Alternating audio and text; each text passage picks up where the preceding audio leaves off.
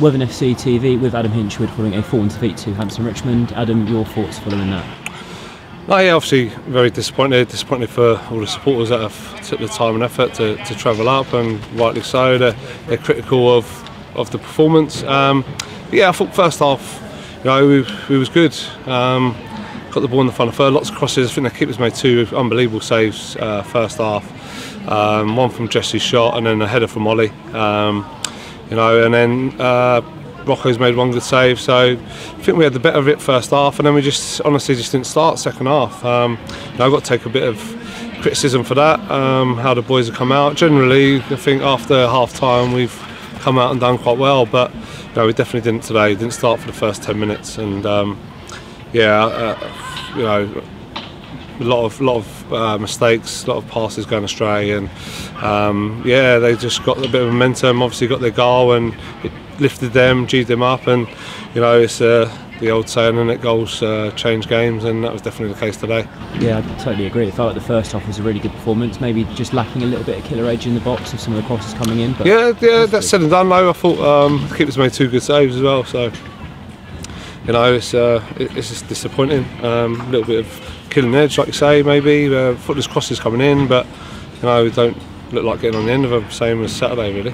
Um, I thought Saturday uh, similar, we got lots of entries into the box and no one looking to get on the end of it, so now we've got to look at some crossing and finishing maybe. And you know, that was the message from from Saturday to get more players in the box and attack the middle of the goal. Um, you know but you know we didn't quite do that again today. Um, but yeah listen I, I'll look at it, analyse and, and, see myself, you know, how, um, you know, I think I've let the team down today in terms of shape. That second half, we was just all at sea. But I think a little bit that comes as well, where you're chasing the game and, you know, you want to stay in it. You get you get back to 2-1 um, with about 10 minutes to go, is it?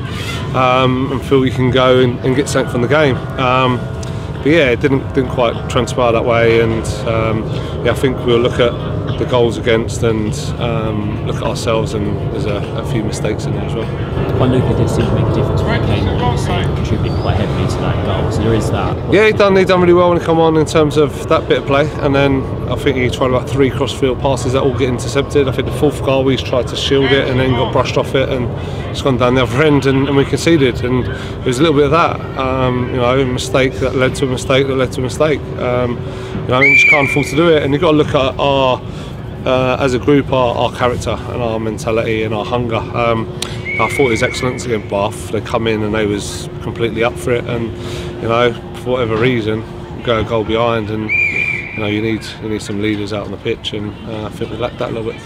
Bath and Yeovil, you say big character performances, maybe not so much tonight. Away from home, it's been a little bit of a pattern of late. You've seeing a lot of goals away What do you think's been different away from home compared to? Um, honestly, don't know. Honestly, don't know. Like away form generally, like since I've been manager, has been quite good. Um, teams try to open up on us, and it seems to suit us. Uh, nice big pitches. There's no fault of the pitches. Thought it was the best time to come and play here. We all come and you know, really happy with what the surface looked like. A bit of zip on it, and you know, we just we were careless. We were careless, and um, like I say, I think. Um, too too many of us, and including myself tonight, just showed a bit of naivety, and we was just all at sea. We're chasing the game, and you know, still feel that we've got enough to, to get us back into it. But um, yeah, uh, another game where I think uh, box to box, brilliant.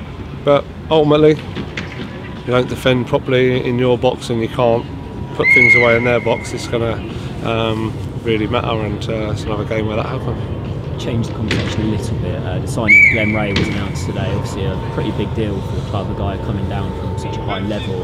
Could you just talk to us a little bit about the signing with Glenn, how that's all come about? No, yeah, just um, moved back to the area, um, wanted to come training, come training, seemed to enjoy training. Obviously, I don't think he's going to enjoy playing that team today, but um, you know, we've yeah, lucky to, to have a signing of that ilk um, come and join us for a bit and um, yeah, with Aaron being out, you know, he's, he's a bit of a presence. He, he can win headers, and he's um, missing today. I think he's made uh, a bit of a difference in terms of that side of it. Um, although the the four-one scoreline won't show that, but um, yeah, definitely more to come from Glen and know our sort of patterns and how we work and how we want to want to play.